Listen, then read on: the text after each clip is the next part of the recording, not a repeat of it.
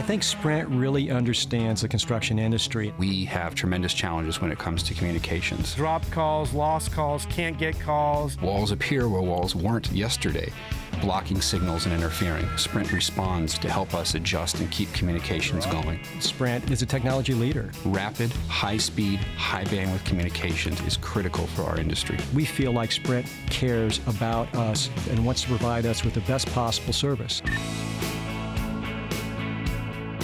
If you have a large complex project, you're going to come to Webcor. We are the number one contractor in California. We do large commercial projects. Some of them could be residential, hotels. We recently finished the California Academy of Sciences project.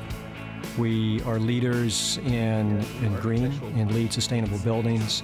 We're leaders in using technology to model the buildings. We're the hands-on builders. The buildings that we're building sometimes are 60, 70 story buildings. They require a tremendous amount of bandwidth to send drawings and information back and forth. I need to have the ability to connect with people while I'm moving around. The speed and the power of the Sprint network allows us to send those communications to a PDA or a handheld computer device or even a laptop with the mobile broadband. And they gave us the ability to have that communication from level one all the way up to level 55. In order for Sprint to be able to satisfy our needs, they really had to come up with that Nextel solution.